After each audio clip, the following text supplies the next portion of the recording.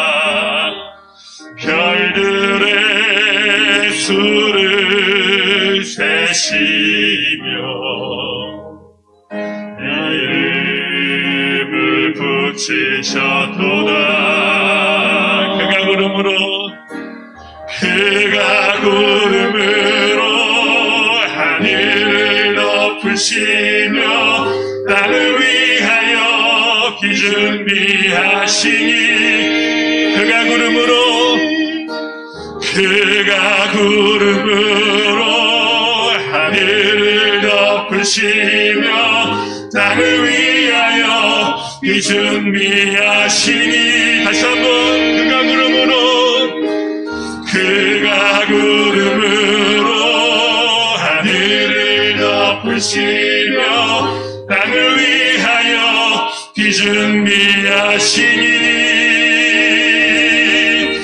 예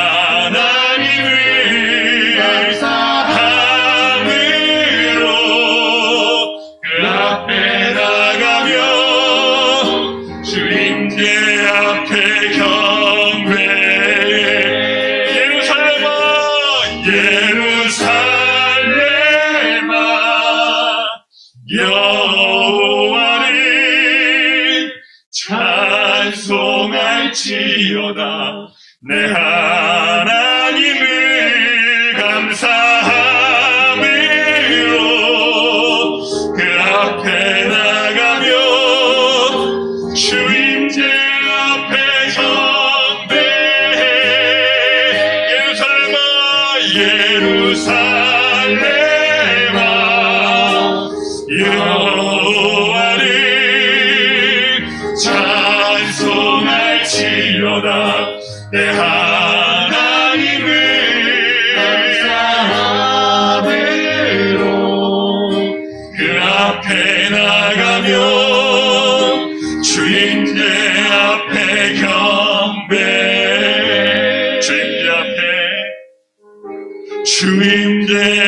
앞에 경배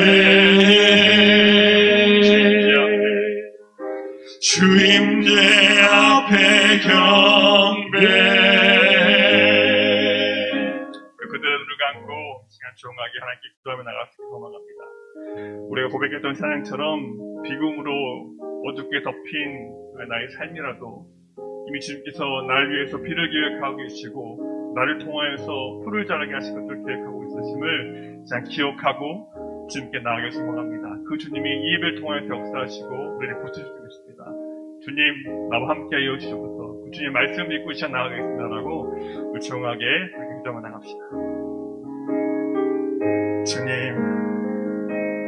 약한 적에 항상 인도하시면서 저희 삶 속을 통해서 아버지의 계획하신 주님 시간 고백하며 기도합니다. 이 시간 통해서 이배 시간이 아버지 함께 온 전히 아버지 나갈 수 있는 귀한 시간 되게 도와주시고 있어요. 이 시간 통해서 성령님의 임재하심을 간절히 바라며 그 임재를 기대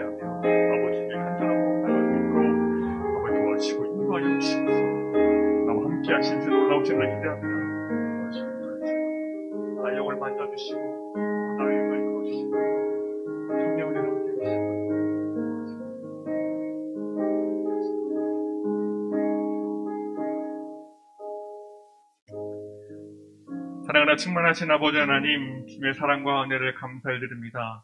죽을 수밖에 없었던 죄인된 죄들을 진 십자가 보혈로 구원해 주시고 이찬 예배하는 자리에 주님을 바라보며 찬양하게 하신 주님의 놀라우신 은혜를 감사드립니다.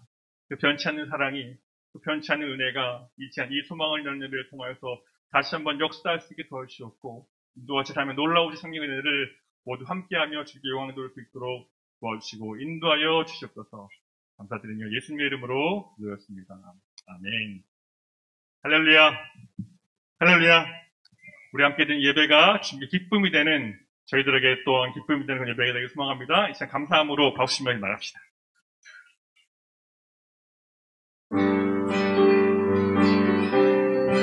박수시면서 한국 몇 개만 찬양합시다. 갑시다.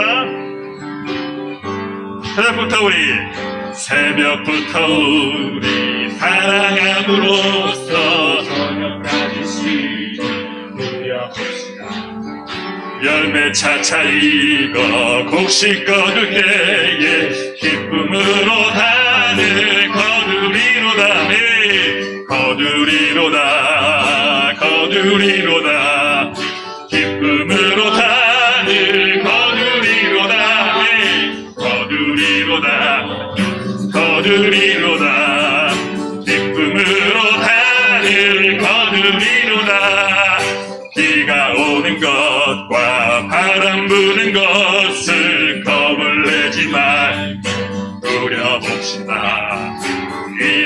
이를 맞춰놓고 곡식 거둘 때에 기쁨으로 하늘 거두리로다. 네, 거두리로다. 거두리로다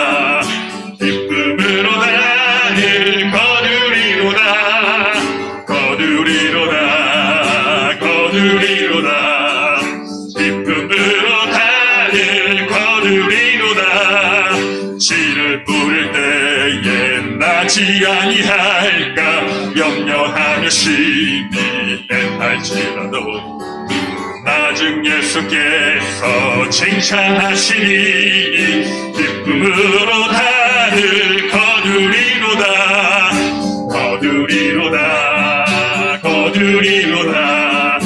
기쁨으로 하늘 거두리로다 거두리로다 거두리로다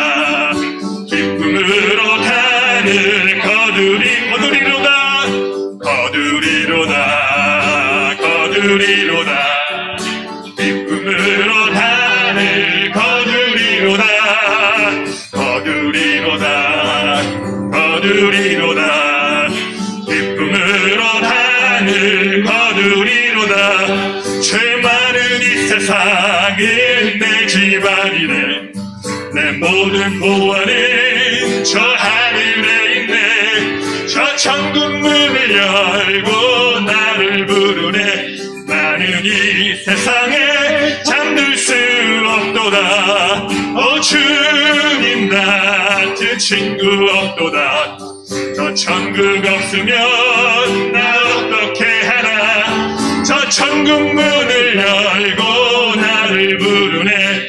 나는 이 세상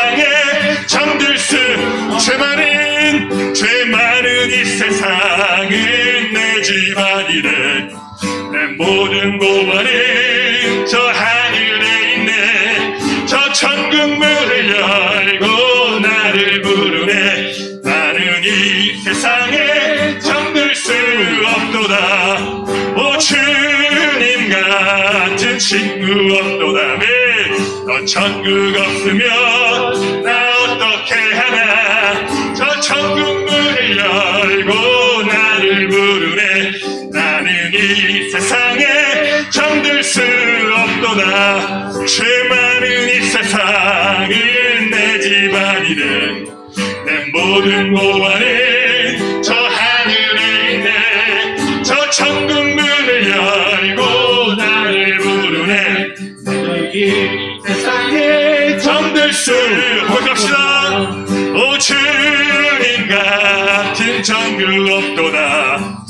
천국 없으면 나 어떻게 하나? 저 천국 문을 열고 나를 부르네. 나는 이 세상에 잠들 수 없도다. 오 주님 같은 친구 없도다. 저 천국 없으면 나 어떻게 하나? 저 천국 문을 열고 나를 부르네. 나는 이 세상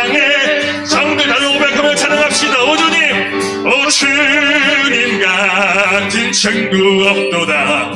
저 천국 없으면 나 어떻게 하나? 저 천국 문을 열고 나를 부르네.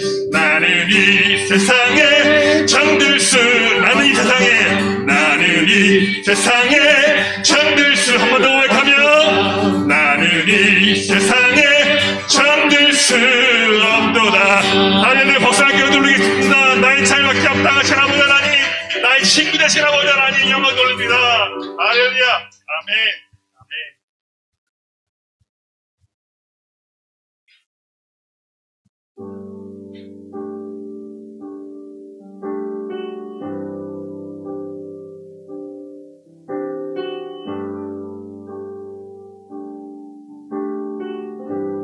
감사함과 기쁨의 고백이 우리를 구원해 주신 그 역사함을 기다함으로 기억함으로 나, 어, 온전히 이루어지길 소망합니다. 사물과 같은 노래를 찬양할 텐데 우리 찬양이 그냥 고백이 되길 소망합니다.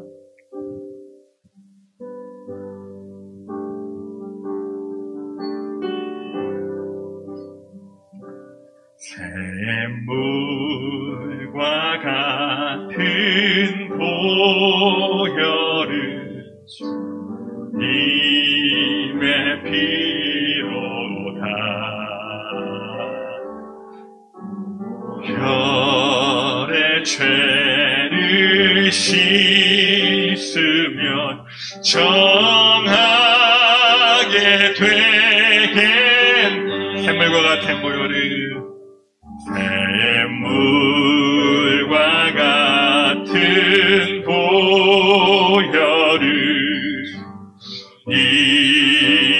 피로다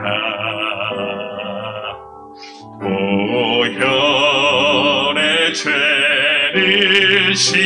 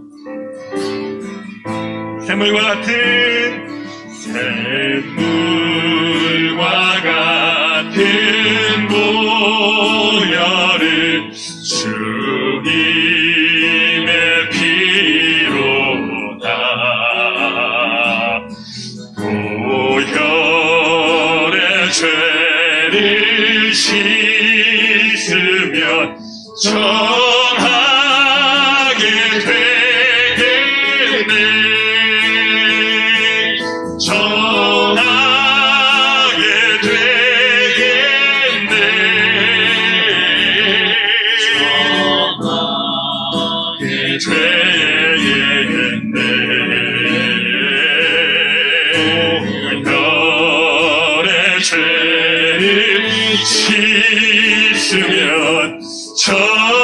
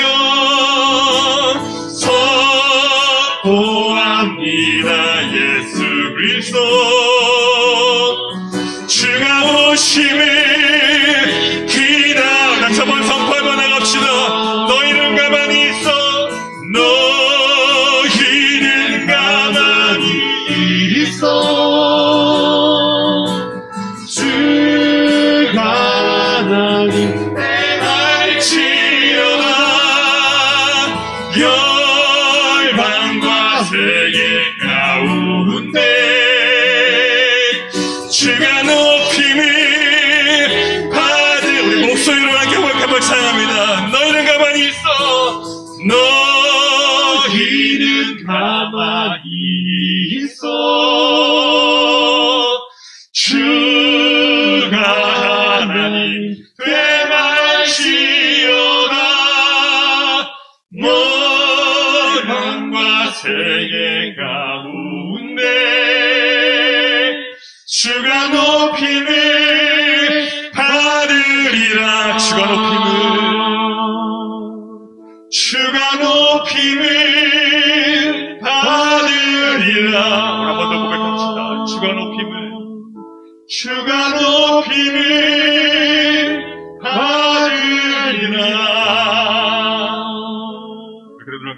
고백하며 기도하며 나가겠습니다. 네, 고백했던 찬양처럼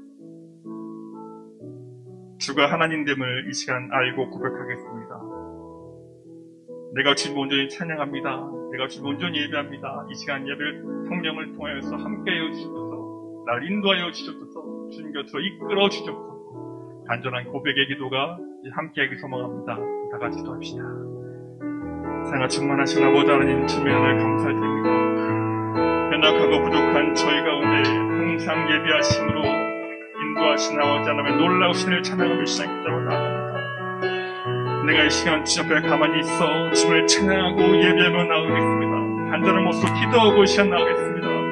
성령의 은혜로 이 시간 함께 하시고 인도하여 주시옵소서 이 예배를 통하여서 역사하여 주시옵소서 이 예배를 통하여서 그의 것이 놀라운 사랑을 다시 한번 깨달아 알수 있도록 인도하여 주시옵소서 성령의 인도하심을 바람을 시작하다가 나아가오니 아버지 하나님 인도하심 붙들어주시고 성령 은혜로 아버지와 함께 사랑과 은혜를 감사합니다 오늘 이 저녁 시간은 더 속해 지도자 헌신 예배로 드리게 됐습니다.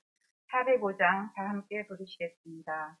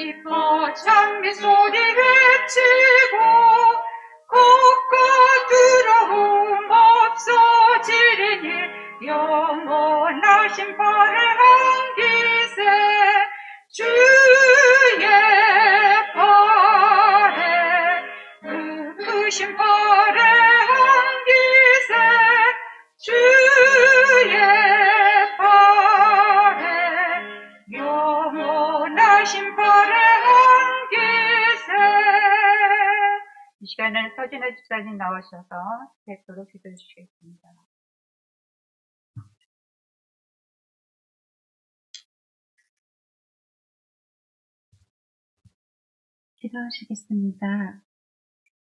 사랑이 많으신 하나님 감사합니다. 거룩하고 복된 주일 저녁 주님의 몸된 성전에서 신령과 진정으로 속해 지도자 헌신 예배를 드리게 하시니 감사드립니다. 새로운 한 해를 허락하신 주님, 새해에도 저희와 항상 함께 동행하여 주시는 주님, 주님의 인도하심을 힘입어 하나님께로 향한 신앙의 여정이 기쁨과 은혜가 넘쳐나 많은 믿음의 열매를 맺는 한 해가 되게 하소서. 지난 한 해, 지난 한 해 하나님보다 저희 자신과 세상을 의지하며 살지 않았는지 되돌아봅니다. 또한 코로나 시대를 산다는 핑계로 나태하고 방관해졌으며 나 자신의 등에 스스럼 없이 게으르고 이기적인 저희의 모습을 살았음을 고백합니다. 주님 용서하여 주시옵소서 저희 안에 있는 굳어진 마음들을 제거하시고 온전한 신앙으로 회복하여 하나님만 섬기게 하시고 나사짐을 통하여 오직 그리스도의 보혈만을 나타내시며 참된 제자로서 삶을 살게 인도하여 주시옵소서. 저희 관악교회를 사랑하셔서 이렇게 토끼 지도자 헌신 예배를 통해 다시 한번 주님께 헌신을 다듬게 하시니 감사드립니다. 저희는 연약하여 허물투성임을 고백합니다. 주님의 영성과 동일함을 깨닫는 예배를 되어주셔서 이번 헌신 예배를 통하여 나보다는 우리를 먼저 사랑하는 여유를 주시고 서로 이해하고 사랑하며 서로 존중하며 믿음으로 하나 되게 하옵소서. 성심과 헌신, 기도의 본이 되어 선한 능력을 행사하며 하나님께 기쁨을 드리는 속죄가 되게 하길 원하오니 주님 인도하여 주시옵소서. 이제 세우신 목사님을 통하여 하나님의 말씀이 선포되어질 때 하나님의 말씀을 사람의 말로 듣는 것이 아니라 하나님의 말씀으로 듣는 영적 귀가 열리게 하옵소서. 살아계신 주님의 음성이 들려지는 귀한 예배의 시간이 되기를 바라며 거룩하시고 복된 예수님의 이름으로 기도드립니다. 아멘.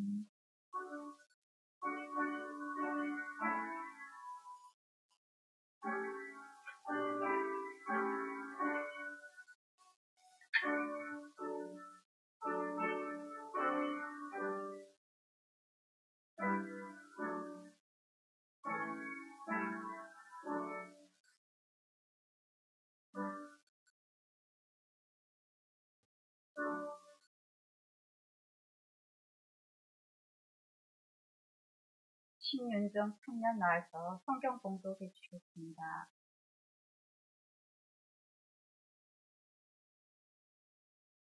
오늘 우리에게 주신 말씀 히브리서 13장 15절에서 17절 말씀입니다.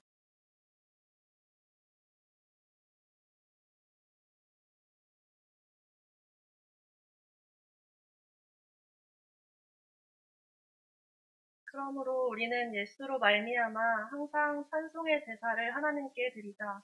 이는 그 이름을 증언하는 입술의 열매니라.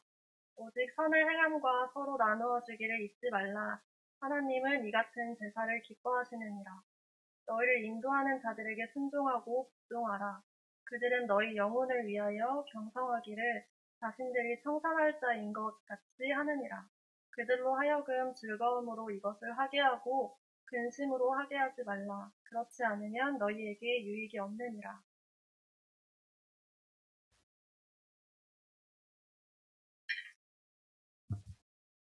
이 시간에는 어, 지도자의 자격과 참여라는 제목으로 그 가양제일교에서 오신 진영철 목사님께서 말씀 전해주시겠습니다. 많은 은혜가 되기를 바랍니다.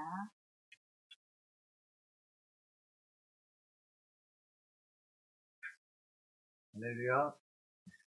살아계신 하나님을 찬양합니다. 오늘 귀한 관악교회 이숙회 국장 국교사 헌신예배에 말씀을 전하게 허락해 주신 하나님 아버지께 감사를 드립니다. 또한 초청해 주신 존경하는 이성규 목사님과 우리 장로님들 교회를 섬기시는 임원분들께 감사를 드립니다. 오늘 참석하신 모든 분들에게 2022년 하나님의 은혜와 축복과 사랑이 가정과 사역에 충만하시기를 소망합니다. 우리 앞뒤자으로 한번 인사해 보겠습니다. 하나님 우리를 통해 새 일을 행하십니다. 한번 더 인사해 볼까요? 예수님께서 위대한 기적을 보이십니다. 한번 더 큰 소리를 고백해 봅시다. 성령님께서 우리 속회를 부흥시켜 주십니다. 할렐루야. 이 시간 우리의 믿음대로 역사하실 하나님을 기대하고 찬양합니다. 어, 우리 한번 오늘 속회 지도자 헌신 예배로 이렇게 드리게 됐습니다. 저는 강서지방 가양제일교회를 섬기고 있는 진영철 목사입니다. 이곳에 하나님의 은혜와 축복과 새해 여러분을 향한 하나님의 기대하시고 있는 줄 믿습니다. 한번 속회 지도자, 속장님, 인도자분 한번 손들어 주시겠습니까? 네. 네, 이분들 위해서 우리 격려의 박수 한번 부탁드리겠습니다. 어, 목소리가 잘 들리시나요? 네. 속회가 어렵고 요즘 모이기 힘들다고 말합니다. 그러나 그럼에도 불구하고 하나님께서 여러분의 속회가 부흥되기를 원하시는 줄 믿습니다. 또한 여러분의 속회에 모인 가운데 적은 인원일지라도 많이 모일지라도 하나님은 그 가운데 우리 가운데 함께 하시는 줄 믿습니다. 제가 오늘 여러분 말씀에 도움이 될 수 있도록 어, 프린트를 준비했는데 혹시 못 받으신 분 있으면 손들어 주시면 뒤에서 어, 보내드리도록 하겠습니다. 지난 2021년 10월 18일부터 21일까지 평창에 서울 남연회 목회계획 세미나가 있었습니다. 어, 그때 주제가 post 코로나 시대의 목회라는 프로그램이었습니다. 이때 목회 데이터 연구소에서 코로나 시대의 교회에 관한 요즘 이 코로나 시대에 교회에 관한 통계를 발표하는 시간이 있었습니다. 그 중에서 제가 속회 그리고 소그룹 중요성에 대한 몇 가지 내용을 전달하려고 합니다. 혹시 이제 설교 PPT가 이렇게 나올 수 있으면 이렇게 넘겨 주시기를 바랍니다. 어, 여러분 그 통계표를 제가 준비했는데요. 첫 번째 47번 47페이지에 보시면 코로나19 이후 목회자들의 사역에 대한 변화를 물어보는 데 있어서 제일 취약한 것이 무엇인가 하는 부분에 있어서 무엇일까요? 소그룹 활동이 위축되고 있다라는 것입니다. 속회, 제자훈련, 성경 공부 같은 소그룹이죠. 여러분, 소그룹이 중요하다고 생각하십니까? 아멘이 좀 해주세요. 여러분, 속회, 선교회, 성경 공부, 제자훈련, 올 한해 풍성한 열매가 있기를 소망합니다. 예, 우리 방송실에서는 그냥 어, 내용에 맞게 잘 그냥 넘겨주시기를 바랍니다. 여러분 표를 보시면 속회와 제자훈련, 성경 공부와 같은 소그룹이 예배와 봉사에 비해서 매우 약해졌다라는 보고입니다. 보시면 그 소그룹 활동이 제일 낮게 되어 있습니다. 이것은 아마 코로나의 영향이라고도 할 수 있습니다. 모이기는 것을 힘들어할 수 있는 그러한 분위기라고 할 수 있죠. 모이려고 하지 않고 모일 수도 없는 그런 환경 속에서 이 소그룹이 속회나 이런 모임이 매우 약해졌다라는 것입니다. 밑에 코로나 이후에 개신교인들의 신앙의 변화를 보니까요. 성경을 읽는다가 제일 높았습니다. 여러분 코로나로 인해서 서로 만나기가 어렵고 힘들 때 성경 많이 보셨습니까? 성경 저희도 교회에서 어, 요즘에 하는 프로그램이 주일마다 이제 성경 암송 하나씩 해서 나왔습니다. 암송 하면 10번에 저희가 시작합니다. 어, 지난 12월에 신약을 한번 이렇게 읽자고 했습니다. 그래서 성도들이 잘 읽고 싶은데 그냥 의학 한 3개월 뭐 이렇게 또 나눠서 열심히 성경 읽죠. 뭐 선포도 하고. 음. 코로나로 인해서 많은 활동이나 모임들이 약해지다 보니까요. 성경을 읽고 기도하는 개인의 경건 생활 위주로 많이 가는 것 같습니다. 속회 모임에 대해서, 소그룹에 대해서는 굉장히 약해졌다. 코로나로 인해서 이 속회의 어, 소그룹이 많이 약해졌다라고 이 통계에 나와 있습니다. 그 뒤에 또 페이지를 보시면 코로나 이후에 목회자들이 생각하는 목회 중점 사항이 무엇입니까? 라는 질문에 첫 번째는 주일 현장 예배의 강화, 두 번째 공동체성의 강화, 바로 제자훈련, 속회, 소그룹을 강화해야 된다. 이 부분이 높게 나왔습니다. 이제 많이들 이제 현장 예배로 많이 나오시고 있습니다. 그런데 그에 비해서 이 제자 훈련, 속회, 이 소그룹, 선교회 모임은 많이 약해져 있다라는 것입니다. 그래서 이 코로나 이후에 목회의 중점 사항 역시 소그룹이 중요하다. 속회의 중요성에 대해서 말해주고 있습니다. 그 밑에도 코로나 이후에 교회가 강화해야 될 사항, 온라인 콘텐츠, 더 나아가서 속회와 같은 공동체성, 나아가서 교인들의 교제를 강화해야 된다라고 나와 있는 것이죠. 바로 이것은 코로나 팬데믹 이후에 점점 약해지는 이 공동체에 대해서 앞으로 이것을 잘 살려야 된다라고 하는 것입니다. 다섯 번째로 코로나 상황 속에서 특별히 속회가 소그룹이 강조되고 활성화된 교회와 그렇지 않은 일반 교회에 대한 비교 분석 데이터가 이 49쪽에 나와 있습니다. 속회가 강조되고 이 소그룹이 활성화된 교회가 기도하는 시간, 성경 읽는 시간, 경건서적, 개인의 경건 생활에서 일반 교회보다 지표가 더 높게 나왔다라는 것입니다. 일반 교회, 가정교회 나오는데 이 가정교회는 이 소그룹이 강화된 교회를 칭하는 것입니다. 그러니까 소그룹이 이 속회가 잘 활성화된 교회는 개인의 경건 생활이나 신앙 생활이나 모든 부분에 있어서 그렇지 않은 교회보다 조금 더 높다라고 할 수 있습니다. 그 밑에 이제 정기적으로 이제 속회에 참여하는 성도가 그렇지 않은 성도에 비해서 교회 출석, 자녀의 신앙교육, 또 개인의 경건생활과 같은 모든 지표에도 높은 수치를 보였습니다. 이건 아마 여러분들도 잘 아실 것입니다.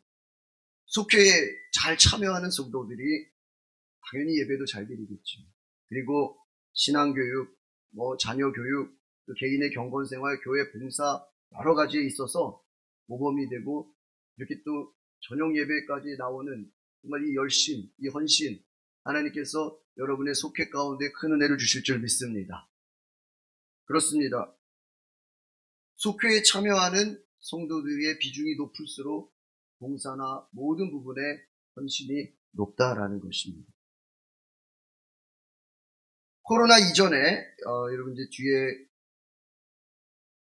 50페이지 그 표에 보시면 코로나 이전에 미국 남침례교단 Lifeway Research에서 이제 속회와 같은 소그룹에 활동하는 성도와 그렇지 않은 성도를 비교해 본 통계입니다. 이것은 이제 뭐 코로나와 상관없는 내용이라고 할 수 있습니다. 여러분 대예배만 참석하는 성도님들 계시죠? 또 속회와 같은 선교회 소그룹에 잘 참여하는 성도들이 있습니다. 이들을 5년 동안 조사해 보니까 소그룹에 참여한 성도들이 주일 예배만 드린 성도들보다 교회 활동이 약 5배가 더 높았다라는 것입니다. 5년 동안 교회에 정착하는 비율 보니까 소그룹의 이 속회나 선교 활동을 잘하는 성도들은 86%, 예배만 참석하는 분들은 16%, 5배 이상의 차이가 나는 것이죠. 무슨 말씀입니까? 속회에 참여하는 성도들이 그렇지 않은 성도들보다 모든 부분에 정착이나 봉사나 교회의 모든 부분에 있어서 모범이 되고 하나님이 쓰시는 귀한 일꾼이 되는 줄 믿습니다. 결론적으로 교회 건강은 바로 속회 소그룹이다라고 할 수 있는 것이죠. 속회 소그룹은 교회 뒷문, 교회 밖으로 나가는 것을 막아주고요. 속회 소 그룹을 통해서 교회 일에 봉사하게 되고 삶을 나누게 되고 신앙이 성장하고 다른 사람들을 주님께 인도하는 전도의 열매도 나타나게 되는 것입니다. 한번 따라할까요? 모든 성도는 속회에 속해 있어야 합니다. 여러분 이거 쉽지 않습니다. 뭐 예배만 드리고 오늘날과 같이 코로나로 인해서 뭐 예배만 겨우 드리는 것만으로도 정말 목회자 입장에서는 고맙고 감사하죠. 그러나 속회까지 드릴 수 있다면 얼마나 좋을까요? 여러분의 속회가 살아나기를 소망합니다. 모든 속회 구성원들이 또 다른 사람들을 여러분의 속회로 인도하여서 부흥되는 역사가 있기를 바랍니다. 어, 그 뒤에 이제 그 작은 표는요, 저희 교회에서 어, 저희 속회 진행 보고서를 어, 제가 샘플로 넣어드렸습니다. 어, 저희도 이제 감리교 속회 공과를 가지고 이제 속회를 하고 있는데요. 어, 속회의 부분에 전도에 대한 내용들을 좀 추가했습니다. 그래서 어, 전체적인 대략 1시간 정도로 하면은 앞에 찬양, 그 다음에 나눔, 음, 그리고 지난 주간 뭐 전도 대상자 섬김에 대한 보고 또 지난 주간 감사한 일 이렇게 돌아가면서 속회에서 나누도록 합니다. 그리고 어, 설교 주일 설교에 대한 어, 은혜 받은 것들을 나누게 하고 실천할 것들을 나누게 합니다.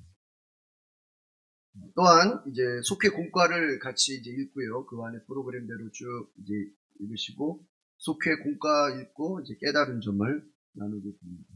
그리고 어, 각자 기도 제목, 전도 대상자에 대해서 저희가 어, 속회 안에서 특별히 전도 대상자를 위해서 기도하고 그들을 위한 섬김, 또 그들을 위한 기도까지 어, 저희 교회에서 현재 하고 있는 부분들을 참고로 먹었습니다.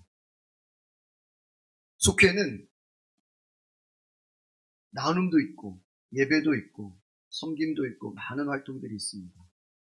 그 안에서 무엇보다 잃어버린 영혼들을 찾는 전도의 열매가 있기를 소망합니다. 속회가 왜 필요한 것일까요? 첫 번째, 성도들의 영적 성숙을 위한 모임이라는 것입니다. 다시 한번 우리 한번 화면을 읽어볼까요? 시작. 성도들의 영적 성숙을 위한 모임. 한 주간의 삶을 점검하는 것입니다. 한 주간 내가 예수님과 동행하는 삶을 살았는가? 하나님과 함께 하나님 주시는 은혜를 누리며 살았는가? 또 지난 주일 담임 목사님 설교 말씀을 통해서 내가 그 은혜를 실천하며 살았는가?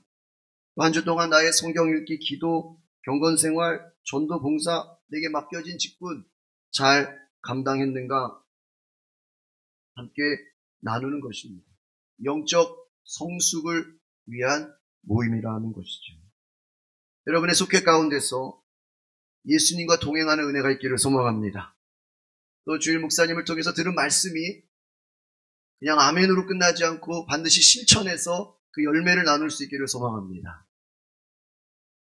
두 번째는 교회의 건강한 뼈대를 형성하는 구조다라는 것이죠. 속회는 바로 교회의 너무나 중요한 기능이라고 할 수 있습니다. 바로 이 속회를 통해서 새로운 일꾼을 하나님의 사람을 세우는 것입니다. 속회 안에는 다양한 교회 안의 섬김을 담당할 믿음의 동역자를 양성하는 것일 수 있습니다. 여러분 속회를 통해서 우리는 지도자의 훈련을 받습니다. 인도를 해보게 됩니다. 속회를 통해서 섬기게 되고 그곳에서 또 새로운 일꾼들을 양성하게 되고 우리는 하나님의 사람으로 양육되어 가는 줄 믿습니다. 건강한 숙회는 어떤 숙회일까요? 첫 번째, 네, 화면을 보여주시면 성도들의 자발적인 모임으로 사랑과 협력이 있는 속회. 같이 한번 읽어볼까요? 시작. 그렇습니다. 속회는 어떻게 보면 자발적으로 정말 모이고 싶었어. 정말 속장님이 보고 싶고 인도자가 보고 싶고 정말 이 속회 성도들 가운데 서로 사랑하고 협력하는 은혜가 있기를 바랍니다. 그래서 자발적인 그러한 모임. 요즘 코로나로 인해서 저희 처음에 야 이거 속회 어떻게 해야 되나 막 그래가지고 이제 막 못 모이게 할 때는요 교회에서 못 모이니까 또 어디 모이기 힘드니까 카페에 가가지고 모이기도 하고 또 감사하게도 지금까지 저희가 속회를 쉬지는 않았습니다. 쉬지 않고 그냥 카페에 가서 아니면 또 교회에서 끝나고 잠깐 모이고 또 어디에 모이고 그냥 어떻게 해서든 모이려고 했었어요. 여러분 자발적인 모임으로 이 속회가 이 팬데믹 상황 속에서도 여러분의 모임이 활성화될 수 있기를 소망합니다. 뭐 온라인으로 뭐 이렇게 할 수도 있고요. 또 잠시 뭐 교회에서 모일 수도 있고요. 가정에서 모일 수도 있고요. 정안될 때는 어떤 외부에서 모일 수도 있고요. 심지어 야외에서 모인 적도 있어요. 힘들죠. 그러나 성도들이 자발적으로 모일 때 사랑과 협력 있는 속회가 되는 것이죠. 두 번째, 같이 봅시다. 시작. 성도들의 신앙 성장에 도움을 주는 속회. 이것은 무엇입니까? 서로 은혜를 나누고 경건 생활에 도움을 주는 거예요. 한 주 동안 여러분의 경건 생활 가운데 이것을 나눌 때 성도들의 신앙에 도움을 주게 되는 것입니다. 세 번째, 시작. 전도하고 새신자를 정착시키는 속회입니다.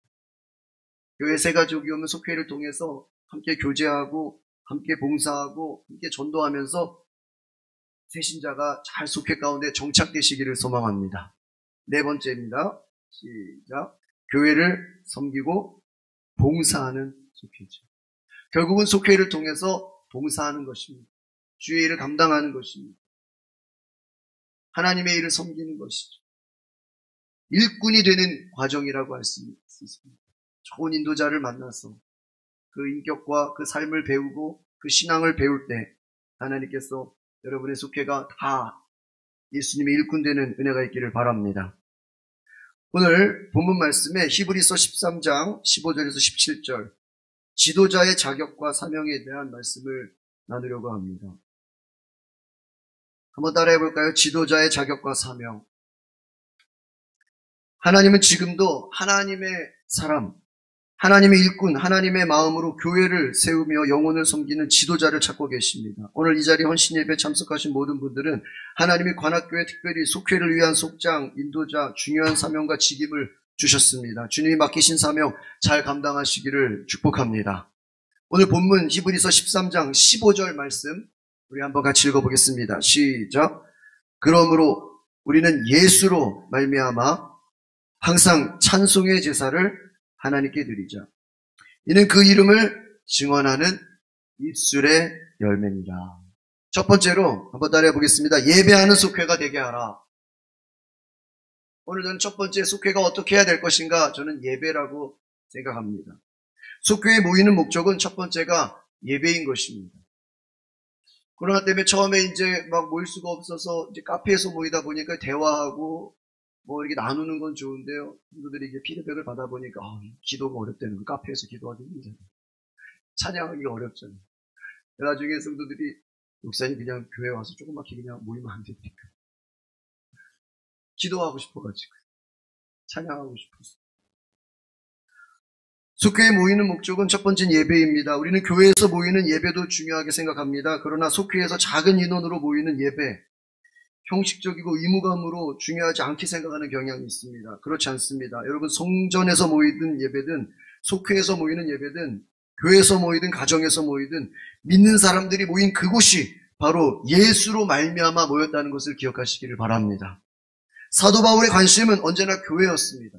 공동체를 향한 기도였습니다. 교회는 그리스도의 몸입니다. 속회 또한 작은 교회라고 할 수 있습니다. 그것은 바로 예수 믿는 자들이 모인 것이기 때문입니다. 우리는 예수 믿는 자들이 모이는 이 모든 모임은 한번 따라 보겠습니다. 예수로 말미암아. 이 속회에 모이는 목적은 누구로 말미암아요? 예수로 말미암았다는 것입니다. 항상 하나님을 예배해야 된다. 예수를 말미암았기 때문에 우리가 할 일은 예배하는 것입니다. 바로 속회의 첫 번째 목적은 예배인 것을 기억하시기를 바랍니다. 지도자의 사명 무엇일까요? 바로 예배라는 것이죠. 어떻게 하면 모여서 잘 예배할 수 있을까? 먼저 먹고 막 교제하는 게 아니라 예배하는 것이죠. 속회 안에서 무엇보다 영과 진리로 드려지는 진정한 예배가 회복되기를 소망합니다. 그럼 예배는 어떻게 해야 될까요? 바로 하나님을 찬양하는 것입니다. 예배를 통해서 우리가 할 수 있는 일은 하나님을 찬양하고 높이는 것인 줄 믿습니다.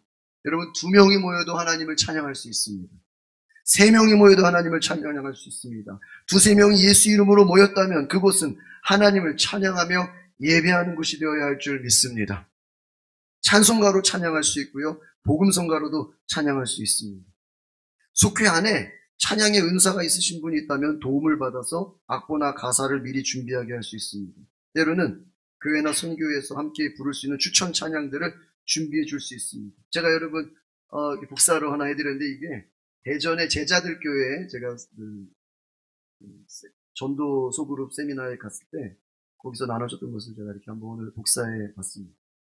요걸 접어서 그 대전의 제자들 교회는 어디든 가서 이 조그만 종이 안에 지금 찬양이 몇 곡이 들어갔죠? 한 50곡이 넘게 들어가 있어요.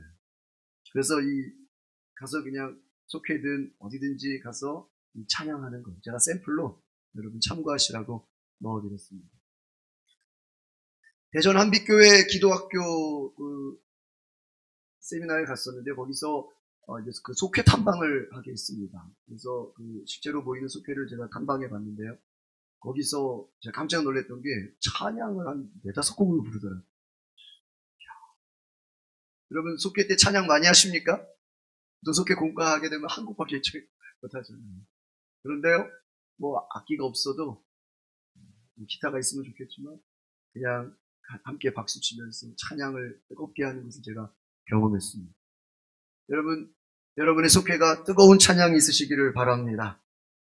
예수로 말미암아 항상 찬송의 제사를 드리는 것, 바로 예배하는 공동체라고 생각합니다. 모였을 때 여러분 좋아하는 찬양들, 복음성가, 또 여러분 찬송가, 귀한 찬양들 함께 찬양을 통해서 하나님을 예배할 수 있기를 바랍니다. 그래서 오늘 2022년 속회를 새롭게 시작하면서 하나님을 뜨겁게 찬양하는 속회가 되시기를 소망합니다. 속회 안에서 뜨겁게 찬양하면서 하나님께서 여러분 모이는 사람들 가운데 기쁨과 감사의 마음을 주실 줄 믿습니다. 몇번 앞뒤적으로 우리 결단합시다. 뜨겁게 찬양하는 속회가 됩시다. 두 번째로 감사의 은혜가 넘치게 하라는 것입니다. 여러분 찬양 이후에 우리는 속회를 통해서 한 주간의 감사의 삶을 나누지 않습니까? 저는 오늘 여러분의 속회가 2022년 감사의 고백이 풍성해지시기를 바랍니다. 찬양과 감사는 함께 가는 것입니다. 찬양하는 곳에 기쁨이 있으시죠? 기쁨이 있는 곳에는 감사가 있습니다. 그래서 속회에서 하나님을 예배하는 것 다음으로 중요한 것이 무엇일까요? 각자의 삶에 받은 감사의 은혜를 나누는 것입니다. 오늘 여기 모인 속장님, 인도자님들을 통해서 한 주간 삶에 하나님께서 경험하게 하시는 감사의 은혜를 나누게 될 수 있기를 소망합니다. 여기서 중요한 것은 따라합시다. 감사를 나누라. 감사를 나누. 불평을 나누지 말고 원망을 나누지 말고 절망을 나누지 말고 어려움 속에서도 감사를 고난 속에서도 은혜를 나눌 수 있기를 바랍니다. 코로나로 힘든 상황이고 숙회가 모이기 힘들어도 적은 인원이 모일지라도 그 안에서 하나님 주시는 말씀의 은혜, 기도의 은혜, 섬김의 은혜를 경험하시기를 바랍니다. 16절 말씀 같이 보시겠습니다. 16절 본문의 말씀입니다. 시작. 오직 선을 행함과 서로 나누어 주기를 잊지 말라. 하나님은 이 같은 제사를 기뻐하시느니라. 세 번째, 믿음과 사랑을 실천하게 하라는 것입니다.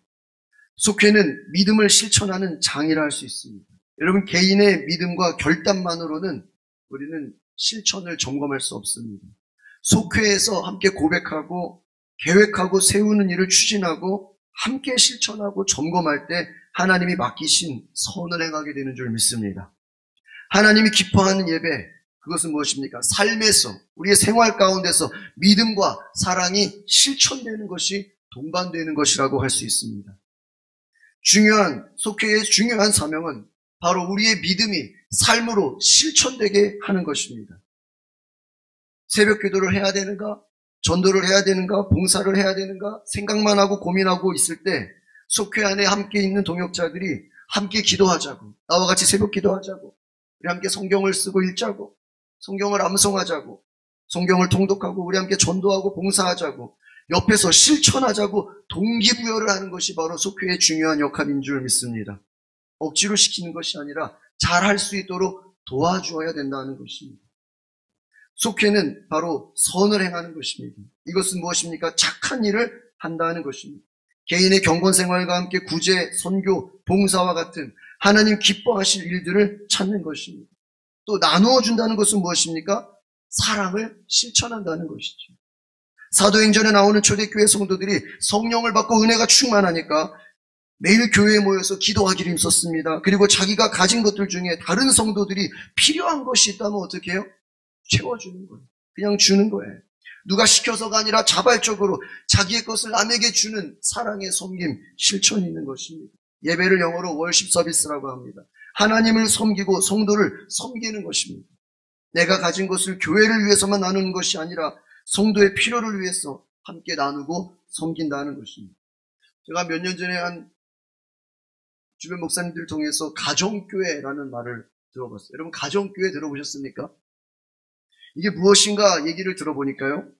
속회 안에 성도들, 여러분 속회 안에 성도들 있으시죠? 구성원들을 정말로 내 가족처럼 섬긴다는 거예요. 저는 가정교회라고 해서 뭐 가정예배 열심히 드린다는 거 그런 줄 알았는데 그게 아니라 이 속회 식구들을 내 가족처럼 생각하는 그래서 어디 여행 가가지고 우리 자녀들을 위한 선물을 사면 내 자녀 선물만 사는 게 아니라 어떻게 해야 되죠? 네? 그렇죠. 속회 가족들, 자녀들 선물도 사야 돼, 안 사야 돼? 사는 거. 어디 가서 좋은 것 있으면 우리 가족들 같이 가고 싶잖아요? 내 가족만 챙기는 게 아니라 내 속회 성도들 어떻게 하는 거예요? 데리고 가서 챙기는 거예요. 참 우리가 이해할 수 없죠? 그러나 내 속회 성도들을 정말로 내 가족같이 섬긴다. 그러한 정신이 바로 가정교회 사역이라는 것입니다. 우리 안에 예수님의 사랑과 성령의 충만함 없이 이것은 그냥 되는 것은 아닌 것 같습니다. 베드로전서 4장 8절 같이 한번 읽어볼까요? 시작.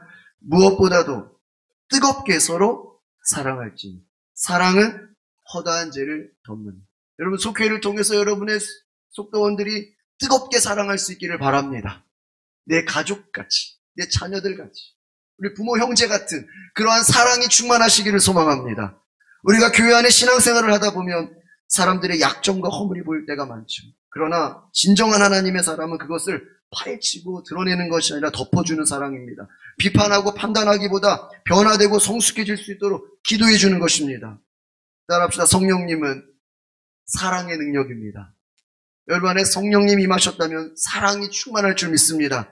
성령이 충만하다는 것은 무엇입니까? 사랑의 능력으로 서로를 채우는 것입니다. 말로만 변화되는 것이 아니라 사랑으로 변화되는 것입니다. 제자들이 예수님의 기적을 봤습니다. 말씀을 들었습니다. 근데 그걸로는 변화되지 않았어요. 제자들이 예수님을 부인하고 다 떠났는데 부활하신 예수님이 다시 제자들에게 돌아오셔서 용서해 주시고 평안하라 성령을 받으라고 할 때 제자들의 마음이 녹아졌습니다. 그 예수님의 사랑을 경험하고 변화를 받고 예수님을 땅끝까지 전하는 전도자가 되고 교회를 세우고 나중에 순교하는 자리에 가는 가는 헌신을 하게 됩니다. 네 번째 한번 같이 보겠습니다. 시작. 성령과 믿음이 충만하게 하라. 사도행전 11장 24절 한번 같이 볼까요? 시작. 바나바는 착한 사람이요. 성령과 믿음이 충만한 사람이라. 이에 큰 무리가 죽게 더하여지. 초대교회 충성된 일꾼 중에 바나바라고 있습니다. 성령과 믿음이 충만한 사람입니다. 구제와 말씀과 모든 것에 열정적인 사람입니다. 이 바나바의 두드러진 업적은요, 바울을 발굴해서 이방인 전도자로 일선에 내세웠다라는 것입니다. 예루살렘 교회를 비롯한 많은 성도들과 지도자들이 핍박자 바울의 회심을 눈초리로 의심의 눈초리로 지켜볼 때 이 바나바는 바로 바울을 예루살렘 교회 지도자들에게 소개하고 교회의 일꾼으로 함께 동역한 자입니다. 바울은 초대교회 역사의 중심부에 들어설 수 있었던 이 모든 것이 바로 이 바나바와 같은 좋은 동역자가 있었다는 것입니다. 바울 혼자 위대한 일을 한 것이 아니라 성령과 믿음이 충만한 바나바와 같은 동역자가 있었기 때문입니다. 사랑하는 속회 지도자 여러분, 바나바와 같은 주님의 귀한 동역자 되시기를 바랍니다. 무엇보다 우리 속회 지도자들은 목사님을 옆에서 가장 잘 돕는 동역자, 협력자가 되시기를 바랍니다. 그래서 속회 지도자들은 다른 성도들보다 더 기도로 힘써야 되는 줄 믿습니다. 바나바가 성령이 충만했다는 것은 무엇입니까? 뜨겁게 기도하는 사람이었다는 것입니다. 기도하지 않고는 성령께서 하시는 일을 이해할 수 없습니다. 알 수 없습니다. 성령으로 기도하는 사람은 성령께서 주시는 믿음을 갖고 불가능한 것도 가능하게 되고 믿음의 일을 꿈꾸게 됩니다. 믿음으로 충만하다는 것이 무엇입니까? 그것은 모든 말에 있어서 믿음의 말을 한다는 것입니다. 여러분 속회 지도자들은 속회 안에서 어떤 상황 속에서도 부정적인 말하지 말고 믿음의 말을 하시기를 바랍니다. 예수님은 어떤 상황 속에서도 제자들에게 믿음의 말을 가르쳤습니다. 제자들이 예수님께 혼났던 게 무엇이죠? 어찌하여 믿음이 없느냐?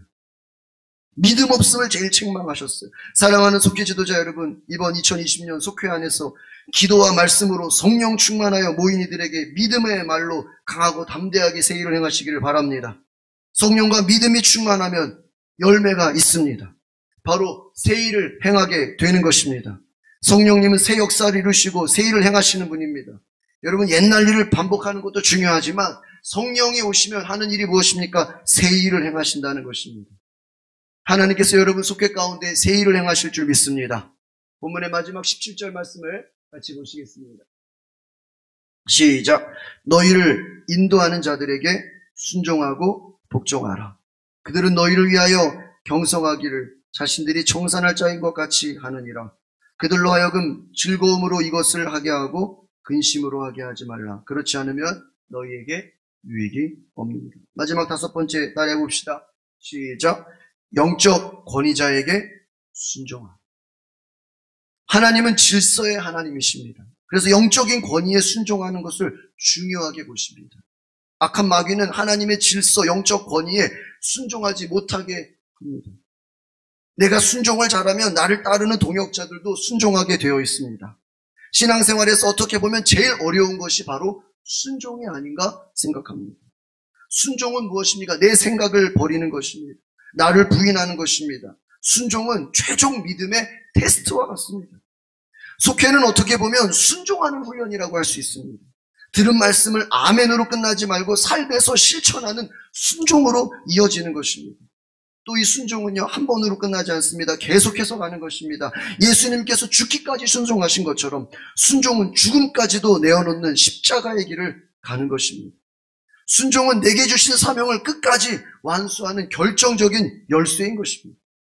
예수님께서 말씀도 전하시고 기적도 보이시고 죽은 자도 살리시고 귀신도 내어줘 주셨는데 생각해 보세요. 예수님이 수많은 사역 하셨는데 마지막 십자가를 지시고 목숨을 내어 주시는 결정적인 순종을 하지 않았더라면 우리에게는 구원의 은혜가 내려올 수 없는 것입니다. 영적 지도자는 무엇입니까? 따라합시다. 끝까지 순종하는 자입니다. 오늘 참석한 우리 속회 인도자님들은 다 끝까지 순종하는 자 되시기를 바랍니다.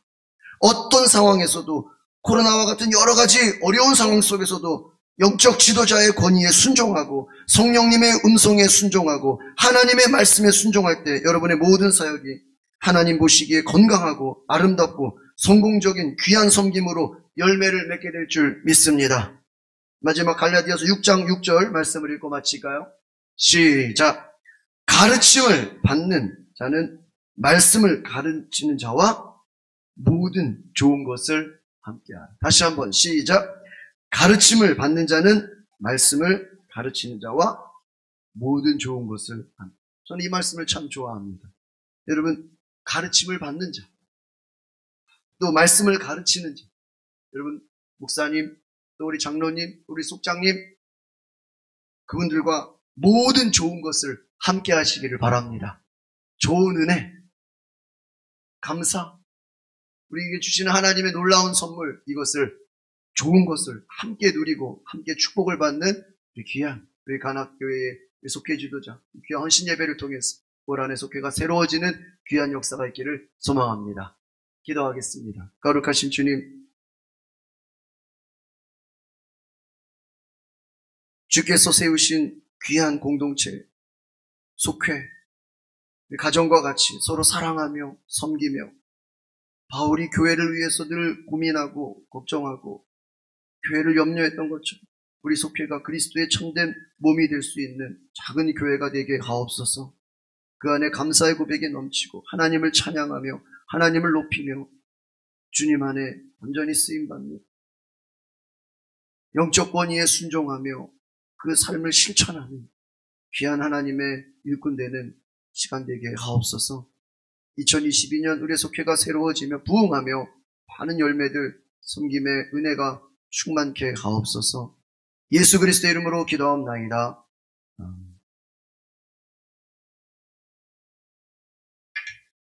이 시간에는 속회 지도자님들 다 나와주셔서 축송 읽겠습니다.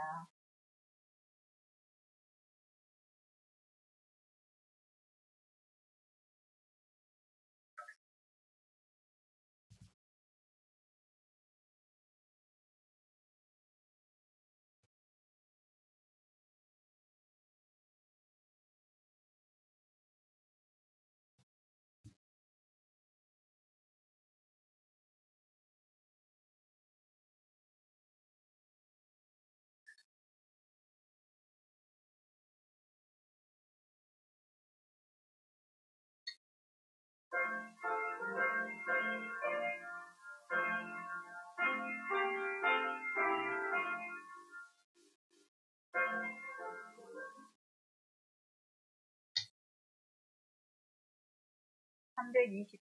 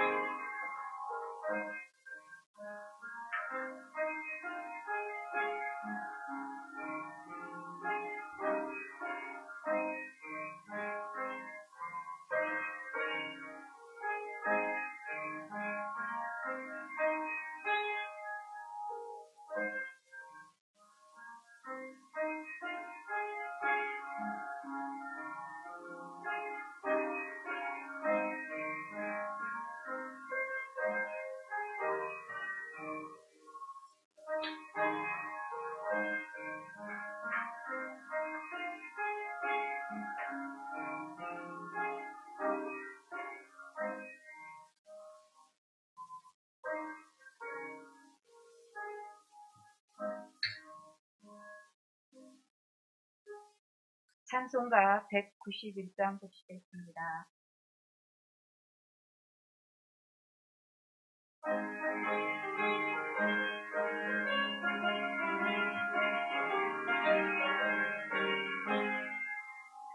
내가 매일 기쁘게 길에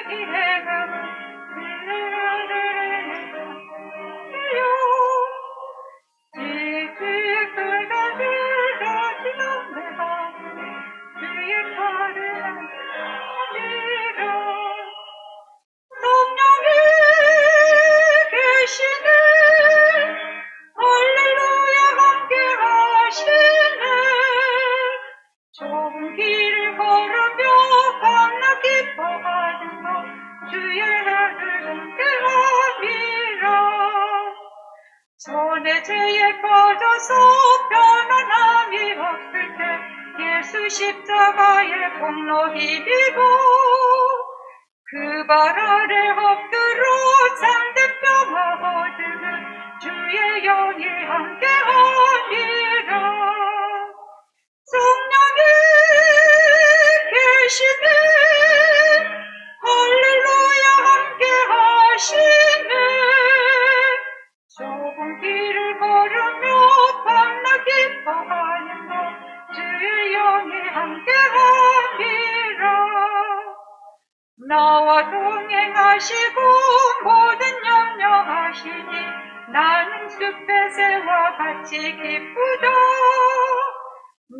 내가 기쁜 마음으로 주의 뜻을 행함은 주의 영이 함께하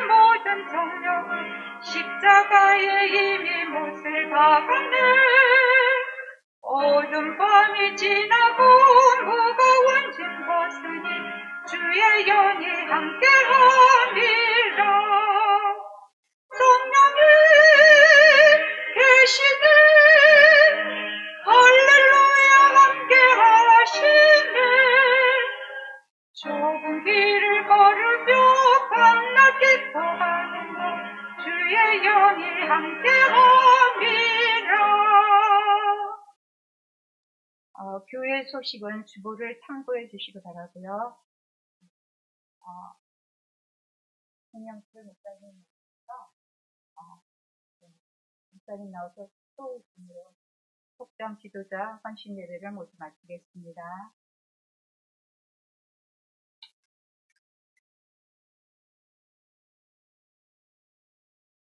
거룩하신 주님, 오늘 귀한 예배 가운데 함께하여 주시는 애 감사드립니다.